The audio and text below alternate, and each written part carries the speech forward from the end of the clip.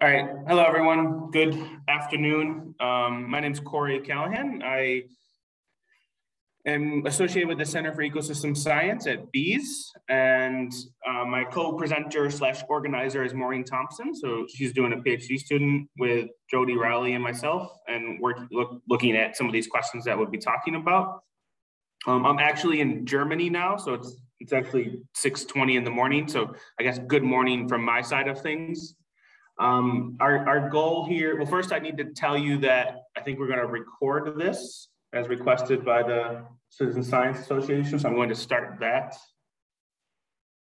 now. It's already recording, Corey. Okay, perfect. Thank you. Um, and so the, the program for the next hour and a little bit is so uh, Maureen and I were going to just kind of give a little bit of a presentation on this idea of adaptive sampling and give you some kind of uh, hot off the press results of some stuff that we've been working on. And then we're going to go into like a little bit of a break, some breakout rooms. Um, looks like we have about 20 participants, so maybe three to four breakout rooms and just kind of have a little bit of a discussion. And I'm really keen to get some feedback on what people think about this idea of adaptive sampling in citizen science projects. So with that, I will go ahead and get started. Let's see. So yeah, so as we all know, you know, citizen science is crazy increasing. Um, lots and lots of data. This is this is really you know, it's really great news, but there's still lots of biases. Um, and so this is really with the focus on biodiversity data. So this is just showing that birds are way overrepresented to a lot of other taxa. Um, this is showing biases in space across the world with GDP, for instance. So countries with the highest GDP tend to have the highest observations, um, as well as per capita. Um, so, to, you know, and this is potentially an issue for some things.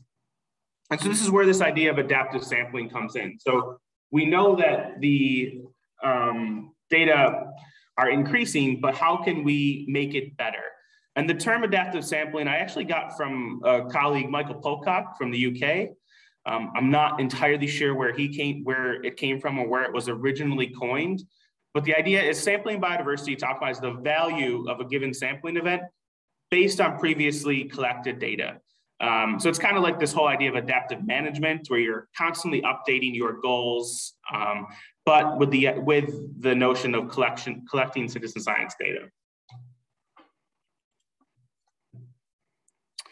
The, the, the key here is, is how do you know what samples are valuable, quote unquote, which is you, you know kind of tricky and it's also quite subjective. And so first, I just want to give you two case studies of kind of how this might be possible to try to understand what samples are better or you know most valuable.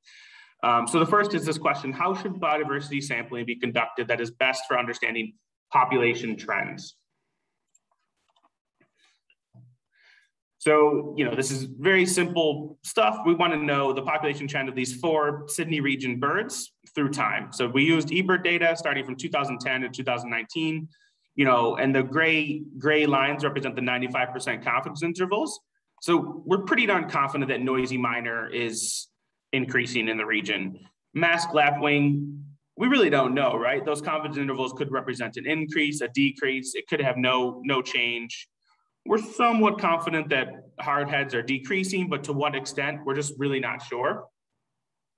And these data, they get better with time, but also the number of observations. So this should this is showing just as you get as you increase time, almost immediately that gray confidence interval decreases.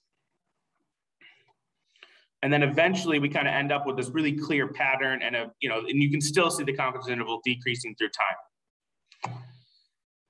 So I won't dwell on this too much because it's a bit statistical, but how do we quantify the value of an observation? We used something called statistical leverage. So leverage is a measure of how far away the independent variable values of an observation are from those of the other observations. So essentially, if you have a bunch of data points, how important every single given data point is to that model fit. Um, high leverage points are those that are made at extreme or outlying values of the independent variable. So if you just kind of think of it visually, let's just pretend these are our fictional data points and this yellow line is our linear model fit. But then if you add another data point that's kind of an outlier, that has a really strong influence because it pulls this second fictional model fit up to a large extent. And so this, this becomes this high leverage data point that changes the trend. So to test this, we used eBird throughout the greater Sydney region. And we had some kind of predictions for each of these um, grid cells. We, we calculated the, the following, the number of days since the last sample, the median sampling interval, so how frequently a, a sample comes from a given grid cell, the nearest neighbor sampling interval, the number of unique days sampled, and the distance to the nearest sampled grid. So for those grids that have no samples at all, how far away are the nearest sampled grids? And we did, we basically ran through all this analysis that I won't go into detail on to try to test which of these patterns were the most important for predicting the value using this kind of leverage as a way to quantify the value of a given eBird observation.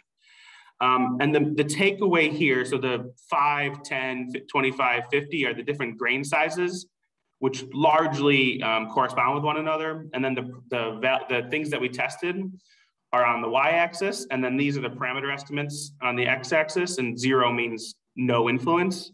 So the further away, the more positive the relationship.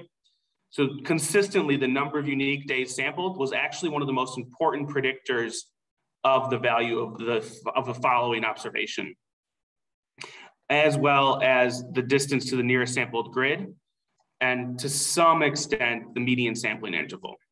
And so our kind of takeaway here is that actually it's not just about filling in the kind of cold spots or where samples aren't from. Hot spots are almost equally, if not more important for future sampling if you're trying to understand biodiversity trends. Um, and then where it gets really cool is that you can use this kind of these 10 years of data to then predict in the future in this dynamic framework of if you have all the samples come tomorrow, well, what about the next day? Where, where are the most valuable places to sample following that? So this just shows the value map throughout the greater Sydney region of, a, of the checklist. And you can kind of see some differences um, throughout the region. And this is potentially a better way to look at it because this is, this is just 10 random grid cells that are throughout the greater Sydney region and the value changed through time. So you can see this one is, you know, this purple line here, all of a sudden someone samples and the value decreases. The blue line, generally just not that important or valuable and it doesn't really change through time. Then you see some of these with some really interesting patterns where, so for instance, this red line, the value kind of increases because no one samples and then someone samples and it decreases. Then again, it kind of increases because no one sampled in that cell, someone samples and then it decreases. And you kind of get these really interesting dynamic changes through time. And this is what we're trying to think about as, as far as an adaptive sampling framework. And here's just a visualization um, of the greater Sydney region for every day of the year. And you can kind of see this purple is kind of flashing throughout. So someone finally sampled here, so it drops the value down. Um, these are some of the remote parts of the greater Sydney region. So it's kind of as you'd expect. But then again, someone samples, so the value drops down. Um, so it, the idea is to push users or citizen scientists to these areas that have the highest value. And you can do this in this dynamic framework. And now I'm just gonna give a second case study. Um, so again, that the first one was about population trends very explicitly. And this one's about how should biodiversity sampling be conducted that is best for understanding species assemblages, so taxonomic diversity. And I'll just run through a fictional example. So if you pretend we have a city, you have two, you know, national parks that are equidistant from this city. Um, for whatever reason, you know, maybe there's more biodiversity in Park B, or you know, I don't know. It's easier to get to Park B, so more people go there. Therefore, we we know more. So completeness, just think of this as kind of our knowledge. So we can and you can quantify this let's say we know, sev- we, we estimate that we have quantified 75% of the biodiversity in Park B and only 25% of the biodiversity in Park A. So if I ask you, where should we kind of direct sampling? Where should the priority be? Most people are probably going to say Park A. And I wouldn't dis- disagree with that. But often we have another layer of data that we can kind of think to conceptualize this with. And that is the risk, right? So, you know, in this kind of conservation world, Park B might be under really significant threat as far as development goes, whereas Park A might be might have very low threat. And so then if I ask where the priority should be, I actually would argue that it is in part B because this 25% that's missing is more important than the 75%. Essentially, it can wait. The prioritization should be shifted towards this area with a high threat because we need to understand what could potentially be lost for offset mitigation, et cetera, kind of as urgently as possible. And so I tested this, you know, and you can kind of um, conceptualize this into two, two dimensions. So the average completeness and the risk of habitat conversion, and then sampling priority is lowest down here. So here we already have biodiversity data established. And here it's really high risk of habitat conversion, but we don't know, we know very little about the biodiversity in that region. So average completeness very low. Um, and so the idea would be to shift points that fall in this region to the, this other, to the other side of the one-to-one -one line. So I tested this with some real data using eBird, um, some survey completeness, and this was kind of a global analysis using grid cells throughout the world, and also some risk classification for different um, grid cells. So I put those data in this conceptual framework and then took that and, and, then you can actually assign value to every one of those grid cells. So again, you have here, you have really high average completeness and low risk of habitat conversion. Those are the lowest priority cells kind of on a global basis. And then you can map this and it, you know, it basically shows that large regions of Africa, um, some of South America, some in Southeast Asia and are, are generally the areas with the high, lowest, with, sorry, with the highest sampling priority on a global scale. So those were really just two, uh, you know, the idea here was just to give you two examples of what we mean by this adaptive sampling. And so first you need to understand theoretically how you could do it. And so here, these were just two examples. There's many, many ways that hopefully we can discuss in the um, discussion group afterwards. But the next work is to understand kind of to what extent people actually adopt or follow suggestions. And in order to do this, we kind of took two approaches using FrogID as a, you know, this kind of case study throughout Australia. We first surveyed participants, which Maureen's going to talk to you about. And then we experimentally tested the willingness to adopt these kind of nudges, which I'll show a few results on as well. Um, okay, now I think I'm gonna stop sharing really quickly and switch to Maureen. Um, okay. Awesome, thanks, Corey. Um, someone asked for that citation of the ecography paper, if you. Yeah, I'll, I'll flash it through.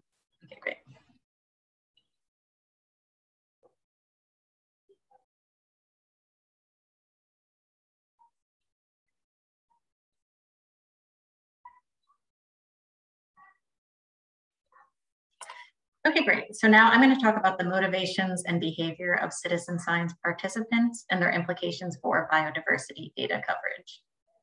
Because citizen science doesn't just give us a rich source of information about the natural world, it's also a great way to learn about human behavior. So as the first part in an experiment testing if and how participants can be motivated to collect data more optimally, we wanted to understand what motivates them to contribute the way they do now. So no surprise to anyone here, biodiversity data collected through citizen science initiatives has increased exponentially in recent years. Though often these data sets are described as being heavily biased by things like weather, timing, site accessibility, and desirability. While this is true, it's also true of museum specimens and professionally collected data. So they're not unique, but these biases do exist, which means um, our understanding of biodiversity, and risk is limited. So these biases are assumed to be part and parcel of citizen science programs. They're larger with unstructured programs and they're more surmountable with um, more structured programs. But currently the extent to which people are willing to alter their behavior for the benefit of a project is largely unknown. So I'll talk about what that means a little bit. Black dots on screen are eBird data, and it's also sort of a de facto map of the metropolitan areas and road networks in Australia, because that's where people are, so that's where they collect data. And we want to know if prompted, if people would collect data from some of these white areas. And for a temporal example, um, this is a multi-year heat map of Crinia sloanei calls, um, an Australian frog.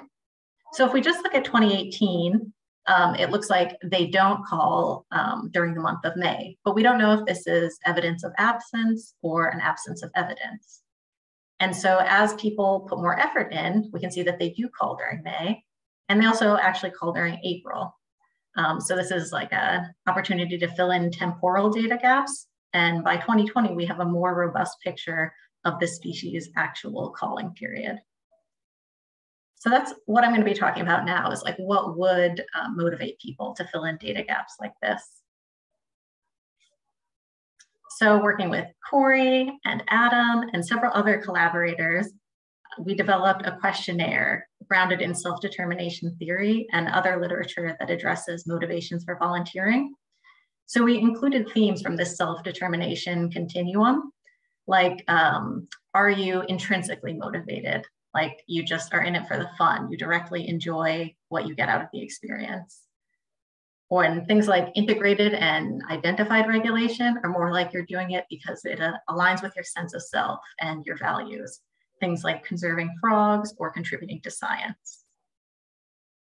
And introjected regulation is like um, sort of an internally regulated um, reward system, like adding new species to your personal list. And external regulation is you enjoy um, sort of the engagement you get with others and um, like competing against other people. So with some of these themes in mind, we ask people what motivates them, what limits their participation, to describe their current use, how often they record frogs, and how far they travel to do so, what would motivate them to change their behavior, and we pose potential changes to the app to see how that would influence people's level of interest. And we collected some demographic info. So a lot of our questions look like this. It's a Likert matrix commonly used to present multi-item scales. So like on a scale of not interested at all to extremely interested, how much do you want this ice cream? And then you fill in the dot that best corresponds with your answer.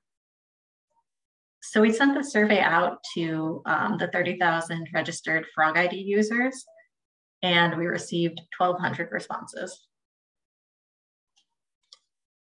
So usually it's presented separately that project managers are interested in maximizing conservation and scientific gains, and to a lesser degree interested in increasing participant scientific literacy and social and civic engagement. While participants are interested in personal gain, recognition and feedback, um, personal interest, and to a lesser degree, opportunities for advocacy and community involvement.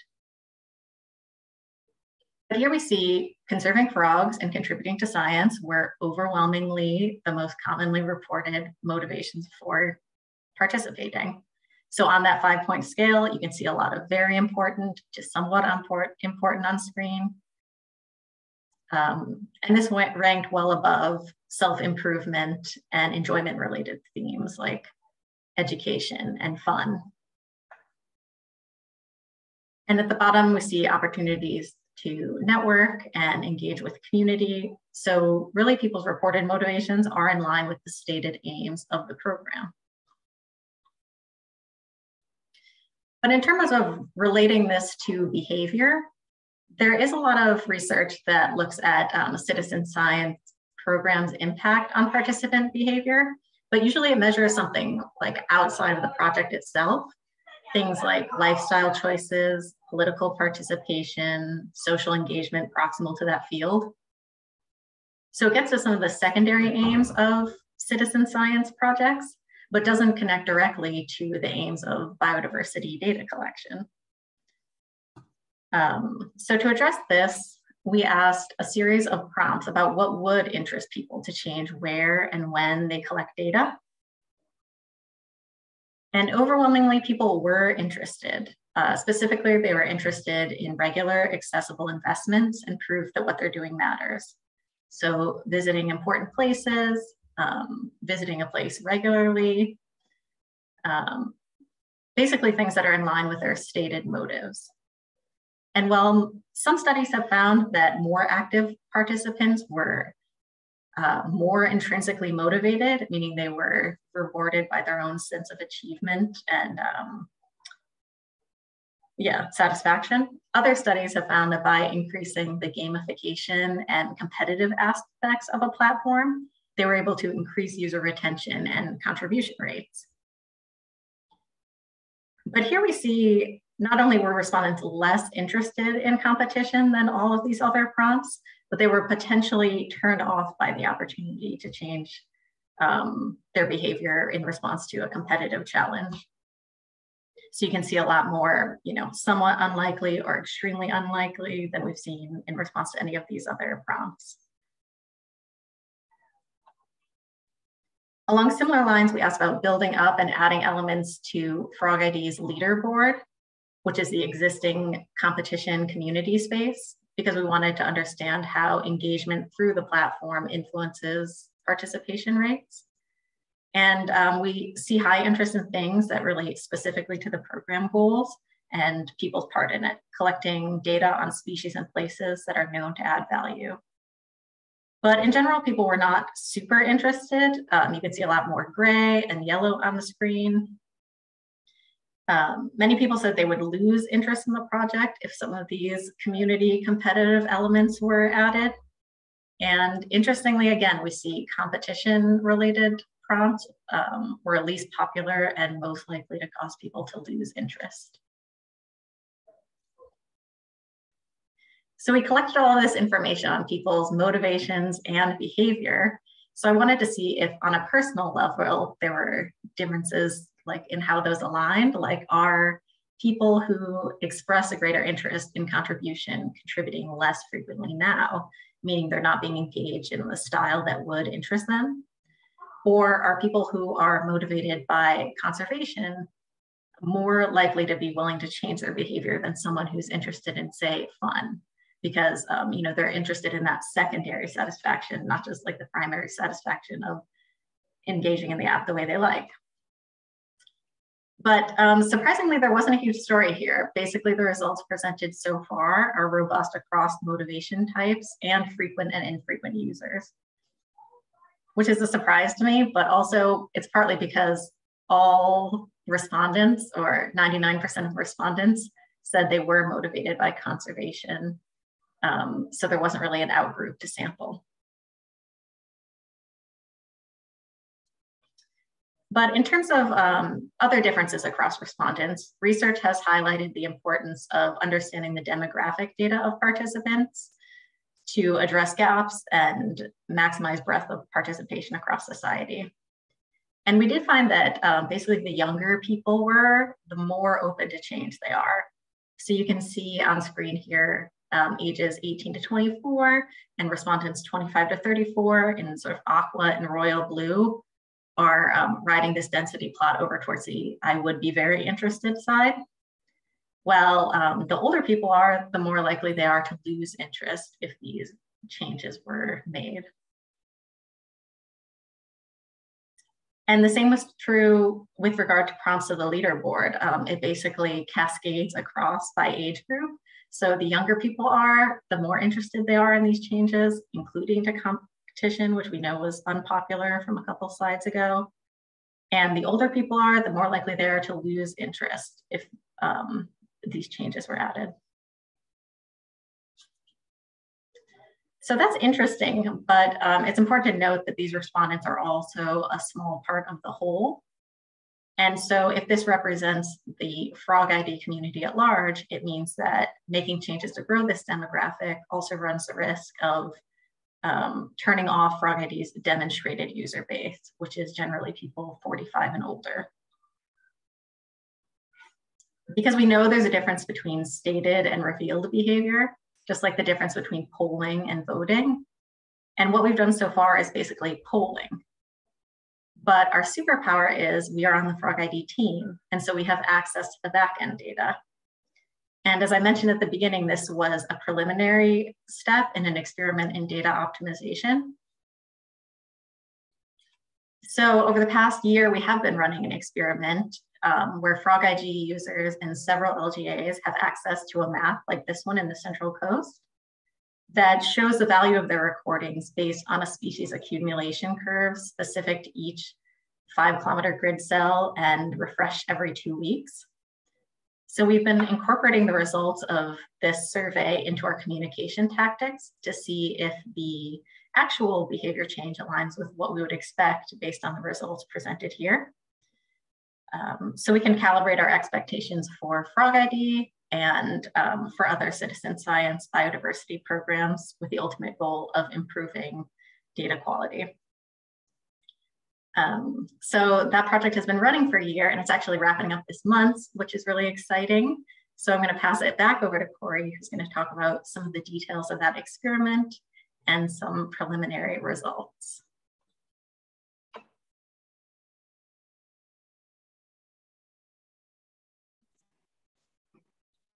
Fantastic. Thanks, Maureen. So, yep, as she said, this is um, kind of we we launched this about just over a year ago now, and I'll just give you very just very briefly some preliminary results. Just quickly, just a little bit of background. Um, what we tried to do is we selected six LGAs as kind of experimental units um, to run this pilot study on to see if we gave people maps of where we think sampling should occur, will they follow those maps? That was the question. Um, and so we had two control groups. And so these were a priori control groups where we didn't actually tell them anything. We had two where we gave them a website, which is basically the map that Maureen just showed. And then we had two where we gave them a website and a leaderboard. Um, the, the key here was that that leaderboard didn't have anything to do with the number of observations or the number of species, which is pretty typical in citizen science leaderboards. It was actually focused on how valuable your observations were based on what we dictated the value was.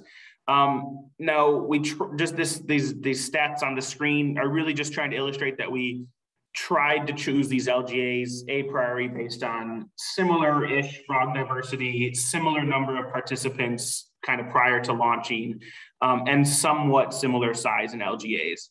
Uh, obviously, this was um, somewhat tricky to do, but we did our best and to try to come up with this kind of experimental design. And so this is just a very quick video of what the website looked like. And this website is what we sent to them.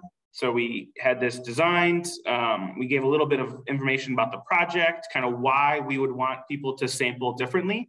And this would be to help our knowledge of frog diversity throughout the region.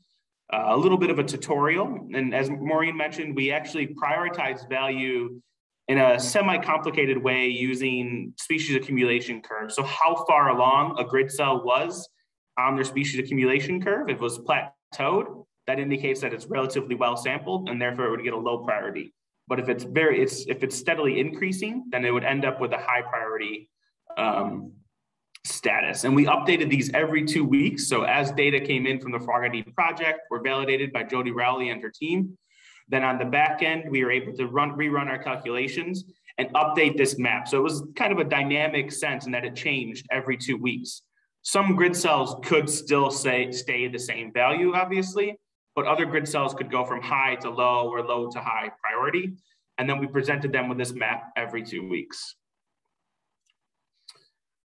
Uh,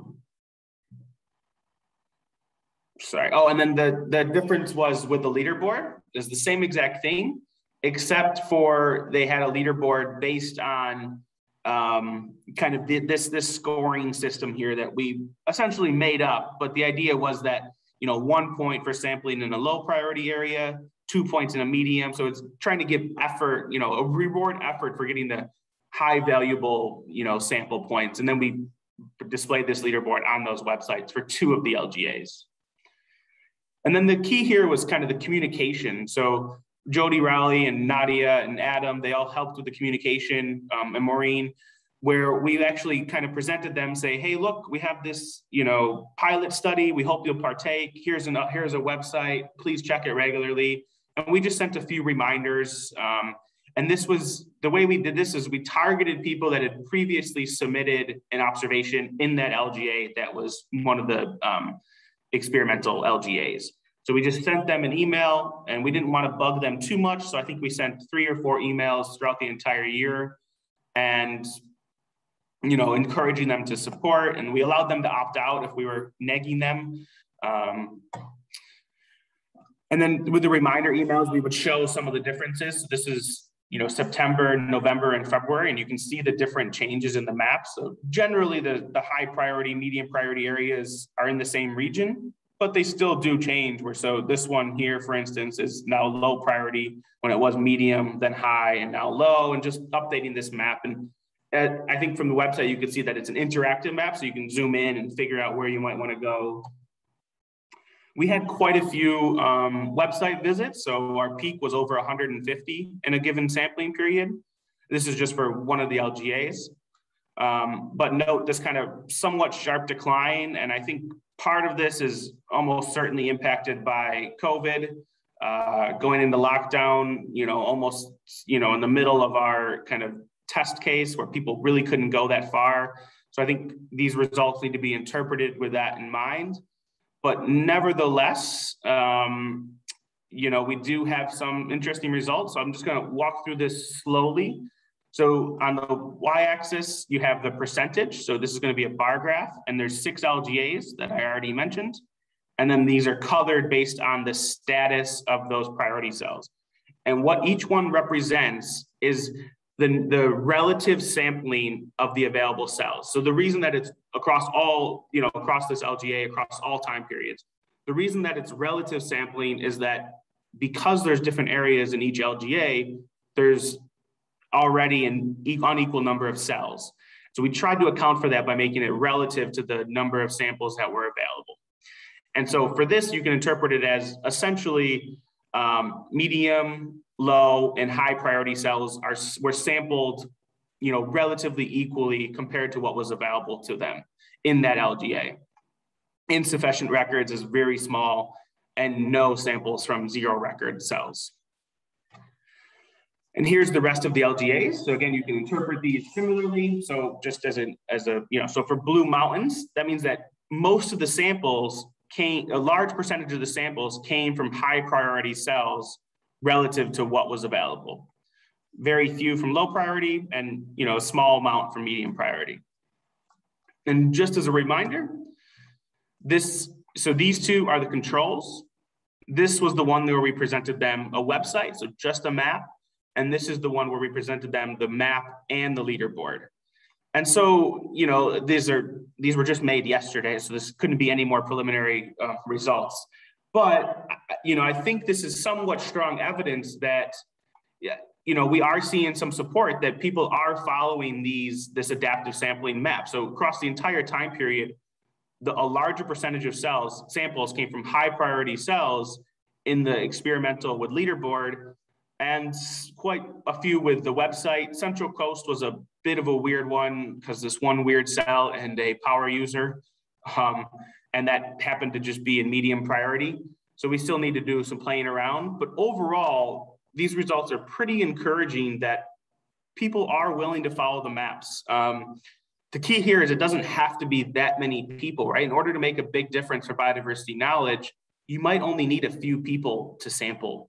And this is something that we still need to test with these data and kind of what percentage of people, of participants, do you need to kind of improve that biodiversity sampling? Um, so yeah, again, the summary, I think based on nudges, I think we have a chance at, you know, increasing our biodiversity knowledge. Um, but I just want to note this was really a pilot study. And, you know, and we worked really closely with the FrogID team, which has been fantastic. But putting this into practice is necessarily an interdisciplinary approach. And so that's why, you know, we've really come at it from this two prong kind of experimental, kind of quantitative, but also from the social side, surveying participants. And this is this is just the beginning of something that I think could really um, help biodiversity data and the future for citizen science use in understanding biodiversity. And with that, I think, um, yep, so thank you. Um, I think, are there any questions? I guess we'll take a few questions and then a very short break until four, I think. Is that right, Maureen? Yep. Um, and then we'll rejoin and we'll split into breakout rooms and hopefully just discuss some of these things. And we'd love to get your feedback on kind of your experience with this and motivations for participants and these kinds of things. So hopefully you'll stick around. Um, it looks like we have one question from Oliver already. So do you want to unmute Oliver or type it in the chat? Yep. Thank you, Corey. Maureen, that was fascinating. Um, I was just curious, given this is based on a survey and you're looking at perceptions and changes, I think Maureen said there was roughly 1,200 survey respondents out of 30,000 participants. How do you account for bias actually in your survey respondents out of your total population? Um, you're right. That's a small number out of the whole, and like certain people are more likely to respond than other people. Um, but it is actually like above the threshold that we set to reasonably sample this population. I think um, based on like some um, statistical references for like what you should have as your sample population, we wanted to hit 900 people and we got more than that. Um, but you're right, it's not necessarily the same people that are participating. And the other question I might have is your, your responses said that competition is not very important, but the FrogID leaderboard is really about bragging rights. You don't offer any prizes. Do you think competition would vary if there was prizes behind that competition? It certainly could because, and also like people might not say they're interested in competition, but um, but like when that element is there, you know, it might strike something in you, which is what it looks like. Um, you know, people maybe are according to some other citizen science literature, interested in gamification things that just make engagement more fun. Yeah. Um, but yeah, certainly the type of competition, like whether it's um, more like everyone has a shared goal or there's like an independent, you know, cutthroat aspect, it definitely changes like the way people engage, whether or not there's um, prizes or just um, notoriety. Thank you.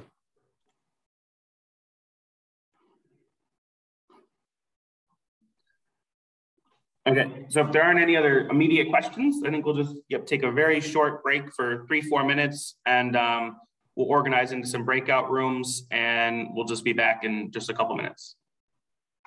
Cool. Thank you. See you in a bit, guys.